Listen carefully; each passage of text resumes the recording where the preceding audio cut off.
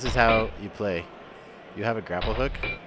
If you press your grapple hook, you will be pulled directly towards the attach point. If you hold jump while you're swinging, you can swing the hook around. You're holding jump and grapple at the same time. So that's the swinging hook. You can use that to go under maps and stuff, and you can use the air control in the air to move around with your A and D keys. Uh, there's also wall running in Blood Rails. If you hold the key, uh, you have to be going fast enough. If you hold the A key, for example, against the left wall, you will uh, wall run. And uh, it's pretty strong. You can go up the wall if you want. If you look up, you can go up the wall. Um, that takes some use. Just remember you have to be holding jump and the side key into the wall of the side that you're grinding. Um, you have two meters in Blood Rails, your energy meter and your shield meter. If you press the axe key and hold it down, it'll power up your shield. When you let go, you get a shield that will protect you from a shot, and that meter will have to recharge again to use it again. Um, the other meter is for your rail gun, and if you hold down primary fire, it will charge up.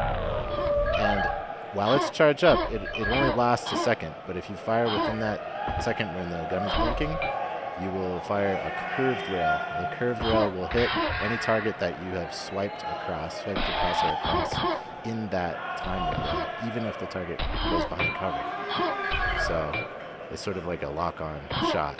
Um, but if you don't fire it before that blinking period ends, then it will not fire the shot. So you have to do like this, and then swipe, your, swipe across your target, let go. Um, there are a lot of runes of power-ups in Blood Rails. This is one of them.